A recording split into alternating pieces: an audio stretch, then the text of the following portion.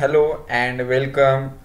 I am Mohammad Zakaria, assistant teacher at use national high school for boys and junior college और आज के इस lecture में हम geography standard twelve chapter number four primary economic activities के बारे में पढ़ने वाले हैं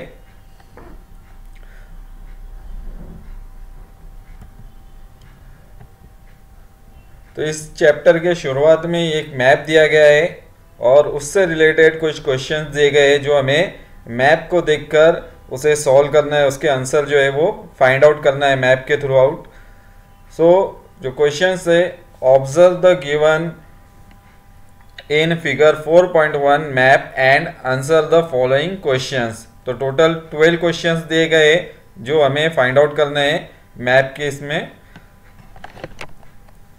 तो इसमें मैं जो मैप रीडिंग है, उसको थोड़ा सा इंटरेस्टिंग बनाने के लिए मैं डायरेक्टली ओरली जो है मैप को एक्सप्लेन करूँगा यहाँ पर।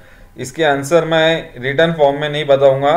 सिर्फ़ किस तरह से मैप रीड किया जाता है क्लासरूम में, जिस तरह से एक्सप्लेन किया जाता है मैप को, उस, उसी तरह से मैं यहाँ पर मैप को जो है वो एक्सप्लेन करूँगा। So first question which economic activities are shown on the map तो इस मैप के ऊपर कौन कौन सी इकोनॉमिक एक्टिविटीज़ जो है वो दिखाई गई है? तो अगर हम यहाँ देकर इस जगह पर तो इंडेक्स दी गई है और इंडेक्स में जितनी भी इकोनॉमिक एक्टिविटीज़ दी गई है, उसे मेंशन किया गया है। तो हमारा जो आंसर है, वो है agricultural activity animal husbandry fishing mining and lumbering तो ये सारी इकोनॉमिक एक्टिविटीज़ जो है, इस मैप में शो की गई है। Number two in which region do you don't find any activity? What could be the reason? तो इसमें से कौन से रीजन में कोई भी इकोनॉमिक एक्टिविटीज़ जो है वो नहीं की जाती है? तो उसका जो आंसर है, वो है कॉन्टिनेंट ऑफ़ अंटार्कटिका अगर हम यहाँ देखें तो यहाँ पर कोई भी हमें इकोनॉमिक एक्टिविटीज़ जो है वो नहीं दिखाई दे रही है।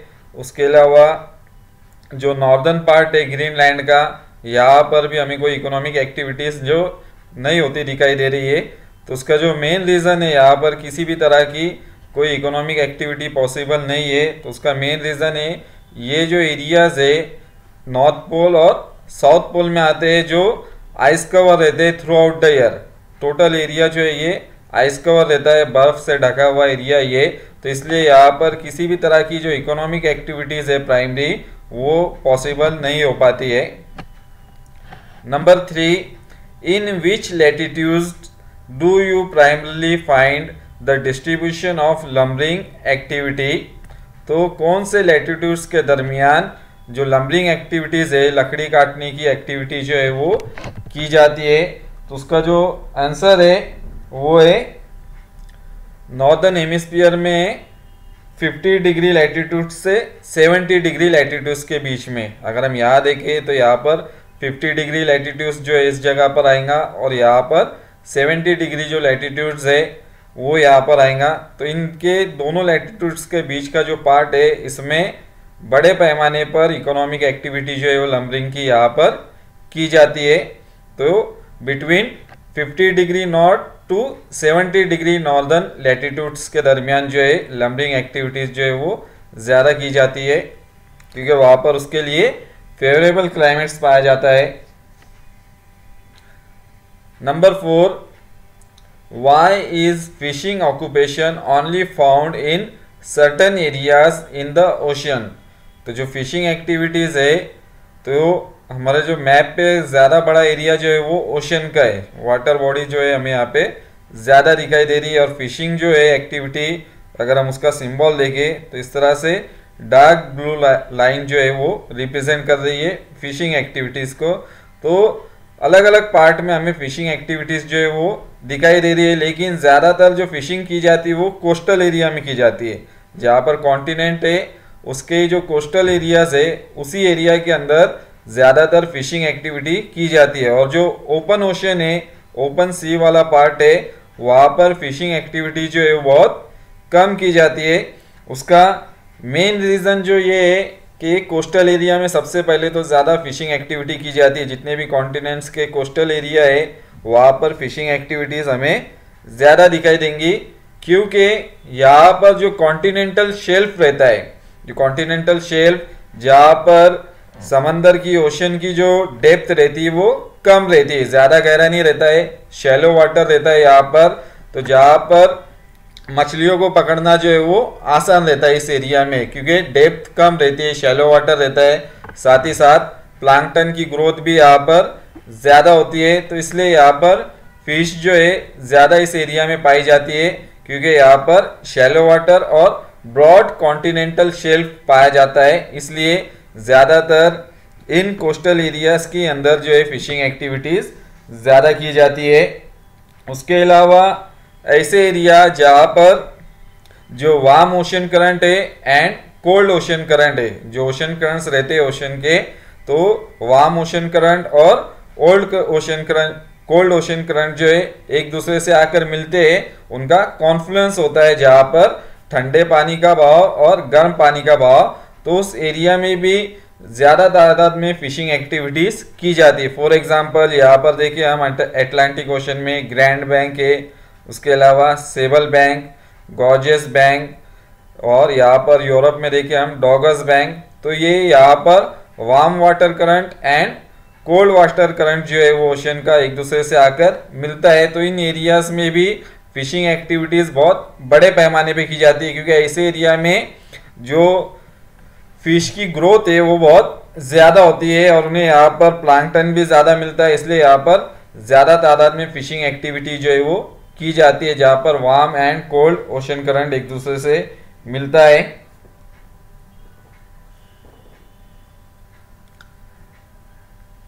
Number five which primary economic activities are mostly found in Europe तो यूरोप के अंदर कौन कौन सी प्राइमरी एक्टिविटीज़ जो है हमें दिखाई देती है?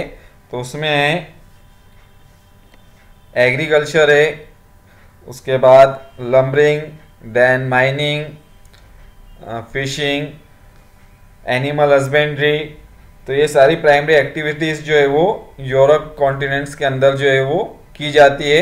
Agriculture animal husbandry lumbering and mining तो ये सारी चीज़ें यहाँ पर जो है इंसान अलग अलग ऑक्यूपेशन में अलग अलग एक्टिविटीज़ में इंगेज है यूरोप के अंदर।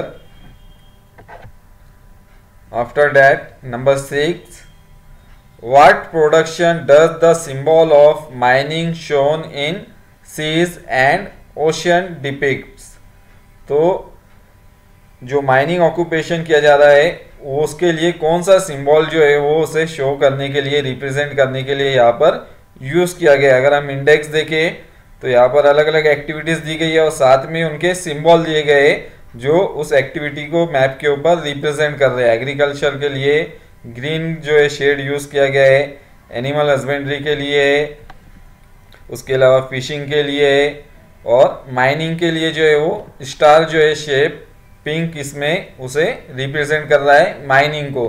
तो ये ओशियन लैंड दोनों के ऊपर जो है वो माइनिंग को रिप्रेजेंट कर रहा है। इन एरियाज़ के अंदर जो है माइनिंग की जाती है। तो ओशन के अंदर भी स्टार जो है ये रिप्रेजेंट कर रहा है माइनिंग को। तो ओशन के अंदर बहुत सारे मिनरल्स मौजूद रहते हैं। For example petroleum natural gas तो इस तरह से यहाँ पर उसे वो रिप्रेजेंट कर रहा है। Number seven in which continent is mining not found तो कौन से कॉन्टिनेंट में माइनिंग जो है वो नहीं दिखाई दे रही है? तो फिर से जो आंसर है, जहाँ पर कोई भी इकोनॉमिक एक्टिविटी नहीं की जाती, वो है अंटार्कटिका कॉन्टिनेंट ऑफ़ अंटार्कटिका में माइनिंग एक्टिविटी जो है, वो नहीं की जाती, क्योंकि ये आइस कवर एरिया है Number 8. In which ocean is the world's fishing mostly carried out तो कौन से ओशन के अंदर सबसे ज़्यादा फिशिंग एक्टिविटी जो है, वो कैरी आउट की जाती है तो यहाँ पर पैसिफिक ओशन है, यहाँ पर है Atlantic ocean Indian ocean southern ocean और आर्कटिक ओशन तो यहाँ पर सब ओशन के अंदर यहाँ पर अगर हम देखें सदर्न ओशन को छोड़कर तो यहाँ पर टोटल ओशन के अंदर यहाँ पर फिशिंग एक्टिविटी जो है वो की जा रही है। तो इसमें सबसे ज़्यादा जो फिशिंग एक्टिविटी की जाती है, ज़्यादातर एटलांटिक ओशन उसके अलावा आर्कटिक ओशन और पैसिफिक ओशन में। तो अगर हम सबसे ज़्यादा अगर देखिए फिशिंग एक्टिविटी की जाती है तो हमारा आंसर रहेगा पैसिफिक ओशन तो अगर हम देखें यहाँ नॉर्थ अमेरिका के वेस्टर्न साइड में और साउथ अमेरिका के वेस्टर्न साइड में यहाँ पर शुरू से लेके तो नीचे तक पूरा फिशिंग एक्टिविटी को रिप्रेजेंट कर रहा है। तो टोटल एरिया में फिशिंग एक्टिविटी यहाँ पर की जाती है पैसिफिक ओशन में और पैसिफिक ओशन का जो दूसरा पार्ट है ईस्टर्न पार्ट तो इस एरिया में भी एशिया के सराउंडिंग जो है कंट्रीज़ है, यहाँ पर ईस्टर्न कंट्रीज़ तो यहाँ पर भी फिशिंग एक्टिविटी जो है वो बड़े पैमाने पर की जाती है। तो हमारा जो आंसर है वो है पैसिफिक ओशन जो दो पार्ट में हमें दिखाई दे रहा है, दोनों तरफ़ मैप के, यहाँ पर भी हमें पैसिफिक ओशन दिख रहा है और यहाँ पर भी पैसिफिक ओशन दिख रहा है, क्योंकि हमारी जो वर्ल्ड है, इसे हमने फ्लैट सरफेस पे रिप्रेजेंट किया है मैप को, लेकिन जब हम उसे कंबाइन करेंगे ज्वाइंट करेंगे मैप को तो पूरा दोनों पार्ट जो है ओशन के वो एक साथ मिल जाएँगे। तो सबसे ज़्यादा फिशिंग एक्टिविटी जो है वो पैसिफिक ओशन में जो है वो की जाती है। Number nine which primary economic activities are found to the south of tropic of capricorn?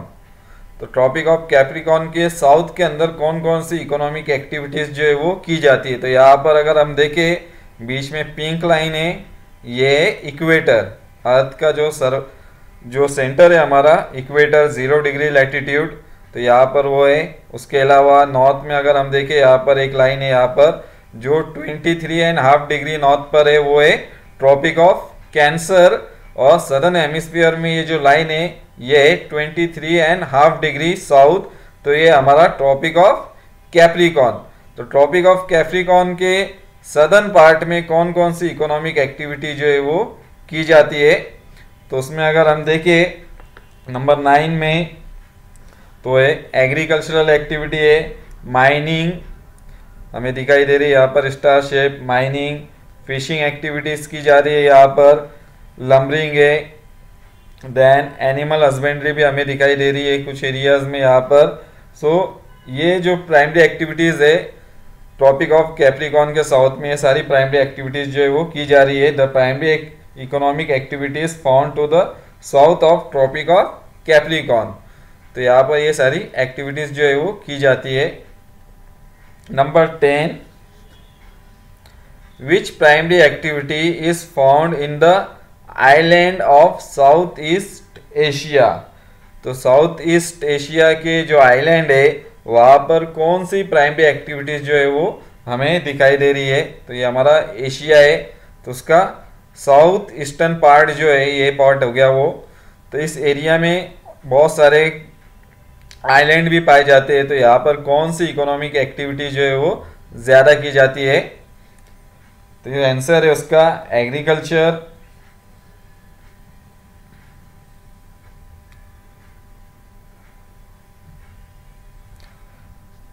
agriculture fishing lumbering then ये सारे एक्टिविटीज़ यहाँ पर की जाती है इन सब आइलैंड के ऊपर, इस जगह पर agriculture fishing and lumbering so ये एग्रीकल्चरल एक्टिविटी जो है, ये आइलैंड के ऊपर की जाती है. Number eleven considering all the four continents in which continent do you find less agriculture being practice तो टोटल अगर हम देखें यहाँ पर कॉन्टिनेंट्स तो ज़्यादा है, लेकिन उसने फोर कॉन्टिनेंट्स को कंसिडर करने के लिए कहा है। तो अगर हम फोर कॉन्टिनेंट कंसिडर करें यूरेशिया हम एक साथ कंसिडर कर सकते हैं Asia plus Europe then North America South America को एक साथ हम कंसिडर कर सकते हैं अफ्रीका एंड ऑस्ट्रेलिया तो ये चारों कॉन्टिनेंट को अगर हम कंबाइनली करके देखेंगे, किस कॉन्टिनेंट में सबसे कम एग्रीकल्चरल एक्टिविटी की जाती है तो वो सबसे कम हमें दिखाई देंगी कॉन्टिनेंट ऑफ़ ऑस्ट्रेलिया के अंदर। ऑस्ट्रेलिया के अंदर एग्रीकल्चरल एक्टिविटी बहुत कम पैमाने पर होती है, बहुत ही स्मॉल स्केल पर यहाँ पर एग्रीकल्चरल एक्टिविटीज़ जो है वो की जाती है। Number twelve write a paragraph on relationship between latitudinal extent of agriculture and climate in your own words तो हमें यहाँ पर एक पैराग्राफ लिखना है relationship between latitudinal extent of agriculture and climate तो लैटिट्यूड्स का जो क्या इम्पैक्ट रहता है, वो डायरेक्टली क्लाइमेट पे पड़ता है और क्लाइमेट का इम्पैक्ट डायरेक्टली एग्रीकल्चर के ऊपर होता है। तो इन तीनों के अंदर डायरेक्टली रिलेशनशिप हमें दिखाई देती है। अगर हम देखें यहाँ पर कॉन्टिनेंट्स के ऊपर, यहाँ पर वो मैप के ऊपर तो यहाँ पर इक्वेटर है ज़ीरो डिग्री तो जैसे जैसे हम दूर होते जाएँगे इक्वेटर से नॉर्थ में और साउथ में, वैसे वैसे टेम्परेचर जो है वो कम होता जाएगा। टेम्परेचर जो है कम होता जाता है। जैसे जैसे हम इक्वेटर से नॉर्दर्न पार्ट में जाएँगे और साथ ही साथ इक्वेटर से सदर्न पार्ट में जाएँगे तो टेम्परेचर जो है वो डिक्रीज होते जाता है, जैसे जैसे लेटीट्यूड्स की वैल्यू यहाँ पर बढ़ते जाएँगे टेम्परेचर उतना ही कम होते जाता है। तो यहाँ पर इस एरिया में अगर हम देखें नॉर्दर्न हेमिस्फीयर में 8 डिग्री टू 50 डिग्री का जो पार्ट है 8 डिग्री से यहाँ पर 50 डिग्री का जो एरिया है, यहाँ पर सबसे ज़्यादा एग्रीकल्चरल एक्टिविटी की जाती क्योंकि इस एरिया में जो है एग्रीकल्चर के लिए फेवरेबल क्लाइमेट पाया जाता है। इस लेटीट्यूड्स के बीच में और साथ ही साथ जो सनलाइट है, वो भी यहाँ पर इनफ मिलती है एग्रीकल्चर के लिए जितनी चाहिए। उसके अलावा रेनफॉल का अमाउंट भी यहाँ पर अच्छा मिलता है। अगर हम इससे ऊपर जाएँगे तो यहाँ पर रेनफॉल जो है, कम होती है। ज़्यादा नॉर्थ में जाएँगे, यहाँ पर स्नोफॉल ज़्यादा रहती है और आइस कवर एरिया हो जाता है फिर यहाँ पर। तो इसलिए यहाँ पर इन एरिया में फिर एग्रीकल्चरल एक्टिविटी करना पॉसिबल नहीं रहता है, क्योंकि ये लैटिट्यूड्स का ही इम्पैक्ट पड़ता है कि इस एरिया में जो हाई लेवल के लैटिट्यूड्स है, वहाँ पर आइस कवर एरिया में दिखाई देता है। तो यहाँ पर रेनफॉल भी होता है अच्छा खासा, जिससे वाटर सप्लाई जो है एग्रीकल्चर के लिए वो उन्हें मिल जाता है। और इन एरियाज़ में नॉर्थ हेमिस्फीयर में 8 डिग्री टू 50 डिग्री का जो एरिया है, यहाँ पर एग्रीकल्चरल एक्टिविटी जो है, ज़्यादा की जाती है। उसके अलावा अगर हम सदर्न हेमिस्फीयर में देखें तो यहाँ पे अगर हम देखें, कुछ पार्ट को छोड़ दे इक्वेटोरियल के करीब के तो यहाँ पर फिर 20 डिग्री से तो 20 डिग्री जो है, तकरीबन इस जगह पे आएगा 20 डिग्री से 45 डिग्री का जो एरिया है यहाँ पर, इस पार्ट के अंदर, यहाँ पर एग्रीकल्चरल एक्टिविटीज़ हमें स्मॉल स्केल पर होती दिखाई दे रही है। तो यहाँ पर भी एग्रीकल्चरल एक्टिविटी जो है, वो 20 degree southern hemisphere south to 45 degree south तक हमें एग्रीकल्चरल एक्टिविटी इस मैप के ऊपर दिखाई देती है। तो इस तरह से जो लेटीट्यूड्स और क्लाइमेट है, वो डायरेक्टली इफ़ेक्ट करती है एग्रीकल्चरल एक्टिविटी को। अगर फेवरेबल क्लाइमेट नहीं रहेगा, वहाँ पर रेनफॉल इनफ नहीं रहेंगी, उसके अलावा सनलाइट वहाँ पे इनफ नहीं मिलेंगी प्लांट्स को ग्रोथ होने के लिए तो वहाँ पर एग्रीकल्चरल एक्टिविटी करना पॉसिबल नहीं होता है। तो इस तरह से ये जो क्वेश्चंस थे, उसके आंसर हमने मैप के ज़रिए यहाँ पर उसके आंसर को फाइंड आउट किया है। तो ये हमारा फ़र्स्ट जो एक्टिविटी है, ये कंप्लीट हुई। उसके बाद है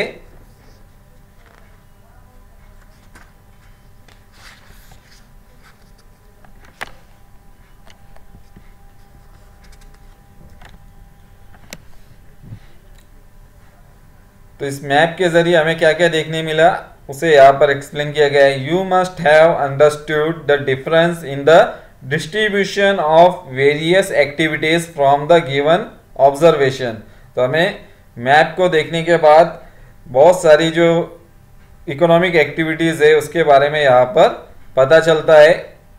All this activities are dependent on nature तो बेसिकली जो प्राइमरी एक्टिविटी है, वो डायरेक्टली डिपेंडेंट होती है नेचर के ऊपर। तो जो नेचुरल अवेलेबल रिसोर्सेस रहते हैं, उसके ऊपर प्राइमरी एक्टिविटीज़ जो है वो डिपेंड रहती है और डायरेक्टली नेचर से जुड़ी हुई एक्टिविटी है primary activity primary economic activities are तो नंबर वन है hunting gathering animal husbandry agriculture fishing lumbering mining etcetera तो ये सारी के सारी जो है, सब प्राइमरी इकोनॉमिक एक्टिविटीज़ है और सब का सब जो है वो नेचर के ऊपर डिपेंडेंट है। जो भी फ़िज़िकल फीचर्स है, नेचुरल फिनोमिना, उसके ऊपर ये सारी एक्टिविटी जो है, प्राइमरी एक्टिविटी वो डिपेंडेंट रहती है। Natural natural resources exploited in primary activities. तो जो भी नेचुरल रिसोर्सेस रहते हैं, उसका हम इस्तेमाल करते हैं प्राइमरी एक्टिविटीज़ के अंदर। Factors affecting this activities and effect of natural calamities affect this primary activities तो जो भी नेचुरल फैक्टर्स है for example soil forest then climate water supply rainfall तो ये सारी एक्टिविटीज़ जो है, सारे नेचुरल फिनोमिना वो डायरेक्टली इफ़ेक्ट करते हैं प्राइमरी एक्टिविटीज़ को और उसके प्रोडक्शन को भी वो फिर अफेक्ट करते हैं और जो भी नेचुरल क्लाइमेटीज़ रहती है, जैसे डिज़ास्टर्स वगैरह हो गए, वो भी नेचुरल क्लाइमेटीज़ भी जो है प्राइमरी प्राइमरी एक्टिविटीज़ को बहुत ज़्यादा अफेक्ट करती है to fulfil the needs of growing population to provide technical help to manpower etcetera mechanisation was started in primary activities so जो करंट सिनारियो है, अभी प्राइमरी एक्टिविटीज़ का, so वर्ल्ड की जो पॉपुलेशन है, वो बहुत ज़्यादा इंक्रीज हो गई है। तो इसलिए जो प्रोडक्शन होता है प्राइमरी एक्टिविटीज़ का, उनकी डिमांड भी जो है वो काफ़ी ज़्यादा बढ़ गई है। तो उनकी प्रोडक्शन को भी बड़े पैमाने पर उनका प्रोडक्शन करने के लिए मैन पावर की भी ज़्यादा ज़रूरत पड़ती है। टेक्निकल सपोर्ट की भी ज़रूरत पड़ती है तो इस वजह से अपना प्रोडक्शन को बढ़ाने के लिए और जो भी डिमांड हो मार्केट में प्राइमरी एक्टिविटीज़ से रिलेटेड प्रोडक्ट्स की, उसको प्रोवाइड करने के लिए अभी प्राइमरी एक्टिविटी के अंदर मैकेनाइजेशन को भी स्टार्ट किया गया है। मैकेनाइजेशन मीन्स उसमें मशीनरीज का भी यूज़ किया जाने लगा है। पहले इसमें मशीनरीज का यूज़ बहुत ही कम या नहीं के बराबर होता था प्राइमरी एक्टिविटीज़ में, क्योंकि ये डायरेक्टली नेचर के ऊपर डिपेंडेंट होते थे, जितने भी रिसोर्सेस वगैरह होते थे, वो नेचुरली उसे एक्सप्लॉयट करते थे। लेकिन रिसेंटली अगर हम देखें एग्रीकल्चरल एक्टिविटी हो या फिशिंग एक्टिविटी हो लंबिंग हो, इन सब के अंदर मशीनरीज का यूज़ बहुत ज़्यादा किया जाने लगा है। फॉर एग्जांपल एग्रीकल्चर के अंदर जो हैवी मशीनरीज रहती है, जैसे हार्वेस्टर हो गया सीड ड्रिलर्स हो गया तो उनका यूज़ किया जाता है। लंबरिंग के अंदर बड़ी बड़ी मशीनरीज यूज़ की जाती है। लकड़ी काटने के लिए। उसके अलावा फिशिंग के अंदर भी बहुत सारी टेक्नोलॉजीज़ जो है वो डेवलप हो गई है।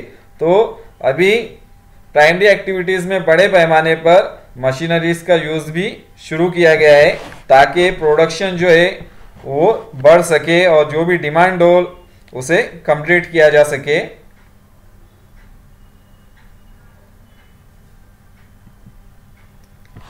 उसके बाद एक और एक्टिविटी दी गई है table 4.1 complete the following table in your notebook one has been done for you as an example तो यहाँ पर एक एक्टिविटी दी गई है और एग्ज़ाम्पल के लिए उन्होंने एक जो है, उसे सॉल्व करके भी बताया गया एग्ज़ाम्पल तो इसमें प्राइमरी एक्टिविटी दी गई है और उनके नाम दिए गए और वो उनके लिए कौन कौन सी चीज़ें होना ज़रूरी? है natural resources required for the activities जो भी नेचुरल रिसोर्सेज है, उनका कौन कौन सी चीज़ों का होना उसके लिए, उस एक्टिविटी के लिए बहुत ज़्यादा ज़रूरी है। उसके बाद है फैक्टर्स अफेक्टिंग एक्टिविटीज़ तो ऐसे कौन से फैक्टर्स है, वो डायरेक्टली जो है प्राइमरी एक्टिविटी को अफेक्ट करते हैं। तो उसमें दो तरह के फैक्टर्स है कि नेचुरल फैक्टर्स और दूसरा है मैन मेड फैक्टर जो प्राइमरी एक्टिविटी को अफेक्ट करते हैं उनके प्रोडक्शन को अफेक्ट करते हैं।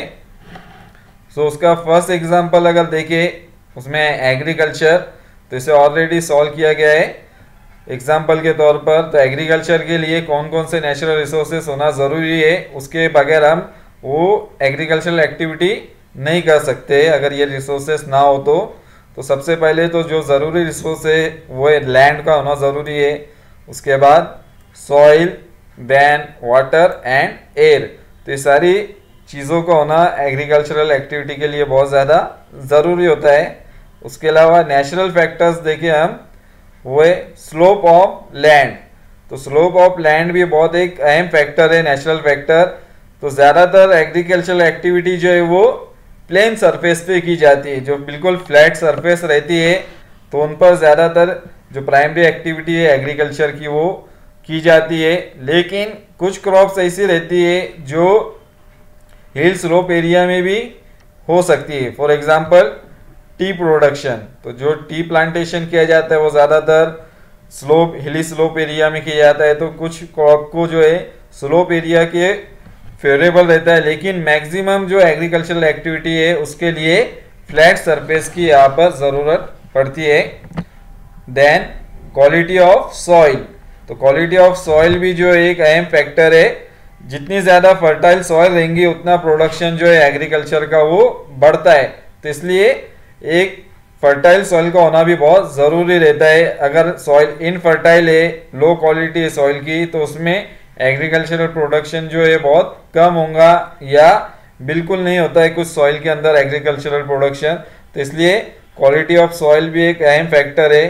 देन फेवरेबल क्लाइमेट तो एग्रीकल्चरल एक्टिविटी के लिए फेवरेबल क्लाइमेट का होना बहुत ज़रूरी है। जहाँ पर बहुत ज़्यादा हार्श क्लाइमेट पाया जाता है, बहुत ज़्यादा गर्मी पाई जाती है, बहुत ज़्यादा हॉट एंड ह्यूमिड एरिया रहते हैं तो उन एरिया में भी एग्रीकल्चरल एक्टिविटी जो है वो पॉसिबल नहीं हो पाती है। फॉर एग्जांपल डेजर्ट एरिया में, उसके अलावा जो बहुत ज़्यादा कोल्ड क्लाइमेट वाले एरिया रहते हैं फॉर एग्ज़ाम्पल नॉर्दर्न पोल वाला एरिया तो यहाँ पर भी टुंड्रा के अंदर एग्रीकल्चरल एक्टिविटी जो है बहुत मुश्किल होती है पॉसिबल नहीं होती है। तो जहाँ पर फेवरेबल क्लाइमेट पाया जाता है, वहाँ पर एग्रीकल्चरल एक्टिविटी जो है वो बहुत ज़्यादा डेवलप होती है।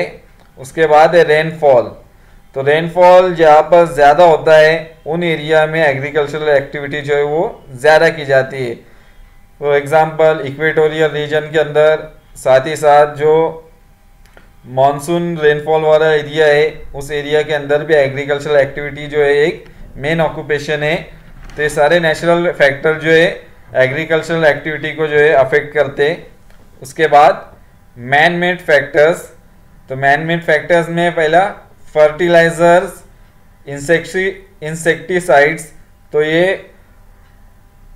प्लांट्स के ऊपर जो भी क्रॉप्स वगैरह रहती है, उन्हें इंसेक्ट से बचाने के लिए और बहुत सारे दूसरे जो भी बीमारियाँ होती हैं, उनसे बचाने के लिए फर्टिलाइज़र का इस्तेमाल किया जाता है इंसेक्सी इंसेक्टिसाइड्स का इस्तेमाल किया जाता है ताकि प्रोडक्शन जो है वो क्रॉप की बढ़ सके और ज़्यादा उसकी पैदावार हासिल हो सके।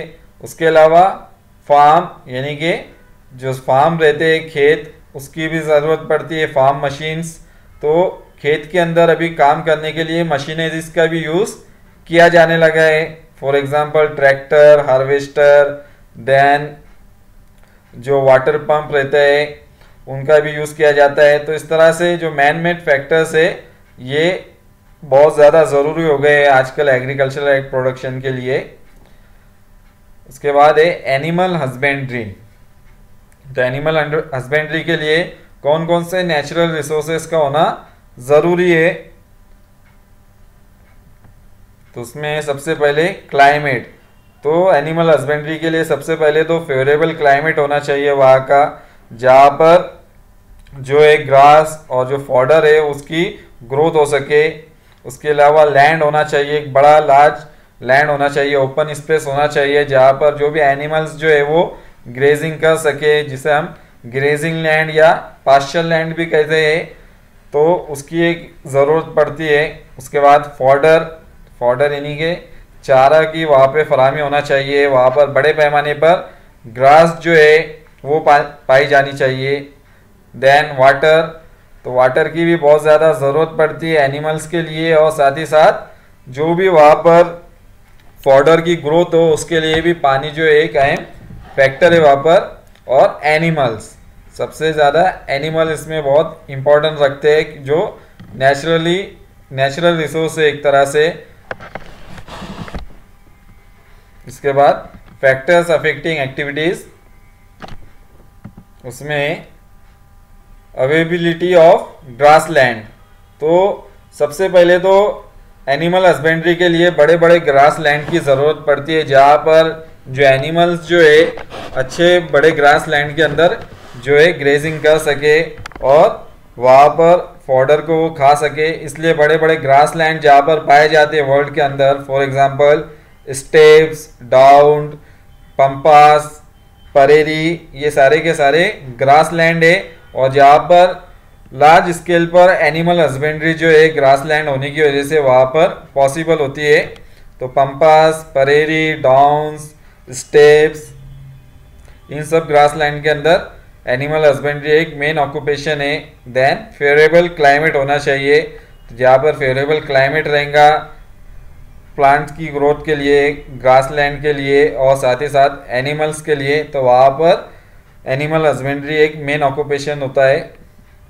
After that man made factors तो उसमें एडवांस टेक्नोलॉजी का होना ज़रूरी है. अभी एनिमल हस्बेंड्री जो है एडवांस टेक्नोलॉजी के थ्रू की जा रही है एनिमल्स की ब्रीडिंग की जाती है, उनसे ज़्यादा से ज़्यादा जो प्रोडक्ट्स है, वो उनसे हासिल किए जाते हैं। For example meat dairy products जो हो गए, वो एनिमल हस्बेंड्री के थ्रू अलग अलग जो प्रोडक्ट्स जो तैयार किए जाते हैं, उसे एक्सट्रैक्ट करने का काम एडवांस टेक्नोलॉजी के थ्रू किया जाता है।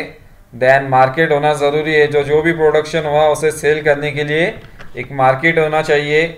Then availability of large states तो बड़ी एक लार्ज स्टेट होना चाहिए, एक बड़ा एक इलाका होना चाहिए, अगर प्राइवेट किसी की एनिमल हस्बेंड्री का ऑक्यूपेशन है तो उसके एक बड़ी सी ज़मीन होना चाहिए जिस पर वो अपने एनिमल ग्रेजिंग करा सके, अपने एनिमल्स को।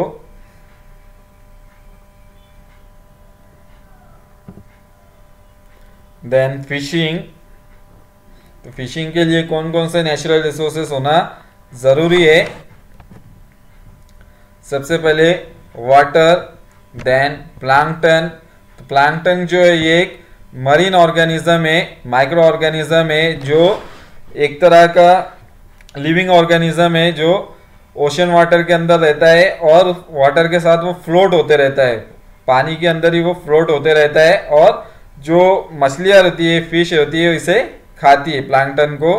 तो इस तरह से प्लांटन जहाँ पर ज़्यादा पाया जाता है उन एरिया में उसे प्लांटन को खाने के लिए छोटी मछलियाँ भी आती है और छोटी मछलियों का शिकार करने के लिए वहाँ पर बड़ी मछलियाँ भी फिर आती है। तो इस तरह से जहाँ पर प्लांटन ज़्यादा होता है, वहाँ पर फिशिंग एक्टिविटी ज़्यादा की जाती है। देन कोस्ट लाइन तो कोस्ट लाइन एरिया का भी होना ज़रूरी है। तो ज़्यादातर अगर हम देखें मैप के अंदर, जो मैंने पहले एक्सप्लेन किया था तो ज़्यादातर फिशिंग एक्टिविटी जो है वो कोस्टल एरियाज़ में की जाती है। देन ओशन करंट तो ओशन करंट जो है, जिसे हम पानी के धारा या पानी का बहाव भी कहते हैं, उस, वो भी बहुत ज़रूरी होता है। उसके बाद स्ट्रक्चर ऑफ़ सी फ्लोर तो जो समंदर की बनावट है ज़मीन की तो वो भी एक इंपॉर्टेंट फैक्टर होता है फिशिंग एक्टिविटी के अंदर। तो किस तरह से होता है, अगर हम देखें तो नेचुरल फैक्टर में देखेंगे हम। तो सबसे पहले कॉन्टिनेंटल शेल्फ तो कॉन्टिनेंटल शेल्फ जो है जिस एरिया में ज़्यादा ब्रॉड पाया जाता है, ज़्यादा ब्रॉड एरिया में जो है वाटर लेवल जो रहती है, वो शेलो रहती है। कॉन्टिनेंटल शेल्फ अगर ज़्यादा ब्रॉड रहेगा तो वहाँ पर जो वाटर लेवल भी जो रहती है, वो शेलो वाटर लेवल रहती है। तो जहाँ पर फिशिंग एक्टिविटीज़ जो है, वो आसानी से की जाती है। जितनी ज़्यादा डेप्थ बढ़ेंगी वाटर की ओशन वाटर की, उतनी ज़्यादा फिशिंग एक्टिविटी करना डिफ़िकल्ट होता जाता है। तो कम गहरे पानी में फिशिंग एक्टिविटी जो है वो आसानी से की जाती है शैलो वाटर के अंदर कॉन्टिनेंटल शेल्फ के ऊपर। तो जहाँ पर ब्रॉड कॉन्टिनेंटल शेल्फ पाए जाते हैं तो उन एरिया में जो वाटर लेवल रहता है वो शैलो वाटर लेवल रहता है और कॉन्टिनेंटल शेल्फ के ऊपर प्लांटन की ग्रोथ भी बहुत ज़्यादा होती है। वो इसलिए क्योंकि यहाँ पर जो सनलाइट है, वो डायरेक्टली जो है वो ओशन फ्लोर पर पड़ती है और सनलाइट की वजह से फोटोसिंथेसिस जो प्रोसेस है, उसके थ्रू प्लांटन की जो है, वो ग्रोथ होती है इस एरिया में ज़्यादा। तो यहाँ पर बड़े पैमाने पर प्लांटन भी पाया जाता है शैलो वाटर होने की वजह से। तो यहाँ पर प्लांटन ज़्यादा होने की वजह से दूसरी मछलियाँ उसे खाने के लिए आती है और जहाँ पर कॉन्टिनेंटल शेल्फ पाए जाती है, उन एरिया के अंदर प्लांटन ज़्यादा रहता है और फिशिंग एक्टिविटी बहुत ज़्यादा की जाती है। उसके बाद confluence of warm water and cold water currents तो जहाँ पर warm water warm ocean current and cold ocean current एक जगह आकर मिलता है, उनका कॉन्फ्लुएंस होता है। उस एरिया में भी फिशिंग एक्टिविटी जो है बहुत ज़्यादा की जाती है। ऐसे एरिया में फ़िश की ग्रोथ बहुत ज़्यादा पाई जाती है। उनके लिए एक फेवरेबल यहाँ पर पानी पाया जाता है फ़िश फ़िश के लिए। और उनकी ग्रोथ यहाँ पर इस एरिया में ज़्यादा होती है, जहाँ पर warm water current and cold water current का कॉन्फ्लुएंस होता है, जहाँ पर एक दोनों मिलते हैं ocean currents then after man made तो मैन मेड के अंदर सबसे पहले तो शिप का होना ज़रूरी है शिप हो या स्मॉल बोट हो तो ये एक तरह का उसके लिए फिशिंग के लिए बहुत ज़रूरी होता है. देन ट्रेडिशनल स्किल्स तो फिशिंग भी एक तरह की एक स्किल है, हर कोई जो है, मछलियों को पकड़ने की स्किल हर किसी में नहीं होती है तो एक ट्रेडिशनल स्किल रहती है, जैसे कि चाइनीज़ और जैपनीज़ पीपल है, उनमें एक खास तरह की स्किल रहती है, जो फिशिंग एक्टिविटी के माहिर माने जाते हैं। तो इस तरह की एक ट्रेडिशनल स्किल होती है इंसानों के अंदर, जिसमें फिशिंग एक्टिविटी वो बड़े पैमाने पे की जाती है। उसके बाद है लार्ज पॉपुलेशन तो जिन कंट्रीज़ के अंदर लार्ज पॉपुलेशन पाई जाती है, वहाँ पर फिशिंग एक्टिविटी भी ज़्यादा की जाती है, क्योंकि जो भी नीड्स रहती है फ़ूड की, उसे पूरा किया जाता है फिशिंग एक्टिविटीज़ के ज़रिए। देन यूज़ ऑफ़ टेक्नोलॉजी तो फिशिंग एक्टिविटी में अभी बड़े पैमाने पर एक तरह की फिशिंग इंडस्ट्रीज़ बन गई है। बड़े पैमाने पर टेक्नोलॉजी का उसके अंदर यूज़ किया जाता है और टेक्नोलॉजिकल नॉलेज भी होना ज़रूरी है। उसके बाद है कोल्ड स्टोरेज फैसिलिटी तो जब फिशिंग पकड़ी जाती है, मछुआरे जब मछलियों को पकड़ते हैं, उन्हें, क्योंकि ये जल्दी ख़राब होने वाली है पेरिशेबल प्रोडक्ट रहता है फ़िश तो उसे स्टोर करने के लिए सही सलामत एक कोल्ड स्टोरेज की ज़रूरत पड़ती है तो जिससे उसे ज़्यादा वक्त तक संभाला जा सके और उसे ख़राब होने से बचाया जा सके मछलियों को। तो इसलिए कोल्ड स्टोरेज की भी फैसिलिटी बहुत ज़रूरी हो गई है। तो इस तरह से ये सारे फैक्टर्स जो है फिशिंग को अफेक्ट करते हैं man made after that mining mining के लिए जो नेचुरल रिसोर्सेज है, उसमें सबसे पहले तो लैंड एंड ओशन तो जो माइंस जो है, ज़्यादातर ज़मीन और समंदर से हासिल की जाती है। डिफरेंट टाइप्स के मिनरल्स ज़मीन से हासिल किए जाते हैं। तो लैंड एंड ओशन के सबसे ज़्यादा इम्पोर्टेंट है इसमें। तो नेचुरल फैक्टर्स में अगर हम देखें प्रेजेंस ऑफ़ मिनरल्स तो प्रेजेंस ऑफ़ मिनरल जो एक, हर एरिया में मिनरल्स जो हमें दिखाई नहीं देता, जो मिनरल्स डिस्ट्रीब्यूशन है वो अनइवन है throughout the year throughout the world तो किस एरिया के अंदर बिल्कुल भी मिनरल्स नहीं पाई जाती तो कुछ जो है, कुछ एरियाज़ के अंदर बहुत ज़्यादा मिनरल्स जो है वो पाए जाते हैं। तो ये एक नेचुरल फिनोमिना है, जो डिस्ट्रीब्यूशन है वो अनइवन है तो उस एरिया के अंदर मिनरल्स का होना ज़रूरी है। उसके बाद जियोलॉजी ऑफ़ द रीजन तो आगे जो जियोलॉजी है, ज़मीन की, वो भी एक इंपॉर्टेंट फैक्टर होता है माइनिंग के अंदर। देन साइज़ ऑफ़ डिपॉजिट तो जो माइनिंग कर रहे हैं तो उसके जहाँ पर माइनिंग की जाने वाली है तो उसकी साइज़ कितनी है, कितनी तादाद में मिनरल्स उसके अंदर मौजूद है, वो भी इम्पोर्टेंट एक फैक्टर रखते हैं। अगर बहुत ही स्मॉल स्केल की साइज़ है मिनरल्स की तो उसे एक्सट्रैक्ट करने का कुछ ज़्यादा फ़ायदा मिलता नहीं है। लेकिन अगर लार्ज डिपॉजिट है साइज़ के अंदर तो वहाँ पर मिनरल्स माइनिंग करने के बाद प्रॉफिट भी ज़्यादा होता है। तो ये एक अहम फैक्टर है साइज़ ऑफ़ डिपॉजिट का मिनरल की। उसके बाद है डेप्थ ऑफ़ ऑकुरेंस तो डेप्थ ऑफ़ ऑकुरेंस भी डायरेक्टली ये इम्पैक्ट करता है। When minerals occur near or just below the earth surface method of open cast mining is employed which is more cheaper तो जब डेप्थ बहुत कम होती है मिनरल्स की, ज़मीन के अंदर बहुत ही कम गहराई में अगर मिनरल्स पाए जाते हैं तो उसे वहाँ से निकालना बहुत ही आसान और बहुत ही सस्ता होता है। लेकिन अगर उसकी डेप्थ ज़्यादा है मिनरल्स की ज़मीन के अंदर तो उसे निकालने के लिए भी बहुत ज़्यादा मुश्किल आती है और साथ ही साथ जो कॉस्ट रहती है वो बहुत ज़्यादा बढ़ जाती है, क्योंकि बहुत ज़्यादा मशीनरीज का यूज़ उसके अंदर करना पड़ता है। तो जिसकी वजह से डेप्थ ऑफ़ ऑक्रेंस जो है मिनरल्स का, वो भी एक इंपॉर्टेंट फैक्टर है माइनिंग के अंदर। After that man made factors तो इसके अंदर सबसे पहले तो कैपिटल तो माइनिंग जो है, एक बहुत ही कॉस्टली एक ऑक्यूपेशन है, जिसमें बहुत ज़्यादा एडवांस टेक्नोलॉजी का यूज़ किया जाता है और बहुत ज़्यादा बड़ी बड़ी मशीनरीज उसमें इस्तेमाल की जाती है, बहुत ज़्यादा उसमें लेबर की ज़रूरत पड़ती है। तो इन सबको पेमेंट के लिए, उसके अलावा मशीनरीज खरीदने के लिए बहुत ज़्यादा कैपिटल की ज़रूरत पड़ती है, बहुत ज़्यादा उसमें पैसा लगता है। तो इसमें कैपिटल बहुत ज़्यादा यूज़ होता है। तो एक कैपिटल सबसे इम्पोर्टेंट फैक्टर है माइनिंग के अंदर। उसके बाद है टेक्नोलॉजी। तो माइनिंग के अंदर लेटेस्ट टेक्नोलॉजी का यूज़ किया जाता है। नए अलग अलग मेथड्स यूज़ किए जाते हैं मिनरल्स को निकालने के लिए। तो टेक्नोलॉजी का यूज़ बड़े पैमाने पे होता है। उसके बाद स्किल लेबर की ज़रूरत पड़ती है। बहुत ज़्यादा लेबर जो है उसके अंदर काम करते हैं माइंस के अंदर और स्किलफुल उन्हें होना पड़ता है। आफ्टर डैट ट्रांसपोर्टेशन भी एक अहम फैक्टर है। देन वैल्यू ऑफ़ मिनरल्स तो कुछ जो मिनरल्स रहती है, बहुत ज़्यादा कीमती रहती है, उनकी कीमत बहुत ज़्यादा रहती है और कुछ मिनरल्स जो रहती है, उनकी कीमत बहुत ही कम पाई जाती है।